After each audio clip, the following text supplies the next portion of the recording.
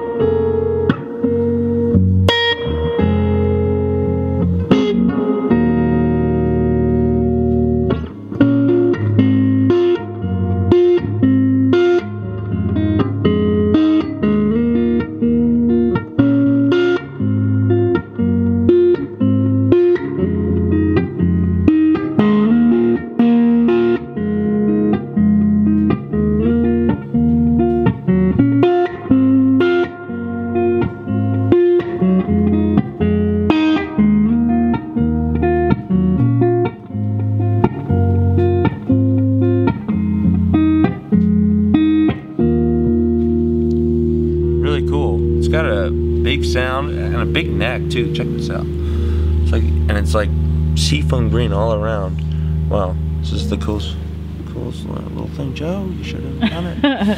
should have done it, Joe. oh yeah, um, all proceeds go to the Midnight Mission. Oh yes, and most important thing is all proceeds go to Midnight Mission. Uh, actually, uh, what was it? Saturday we catch the show for uh, the Tom Petty thing. It was so cool. Um, so many people came out and like my my area, neck of the woods, Silver Lake, which was really cool. Everybody was uh, having a good time and the music was amazing. Um, so uh, it's cool. All that money's going to help the homeless. And you know, we live in a town where there's a lot of those people hanging around and they shouldn't be. So let's help them out on something cool like this. Only one of these. Check it out here at Norman's Rare Guitars. Ends at 5 p.m. Thank you.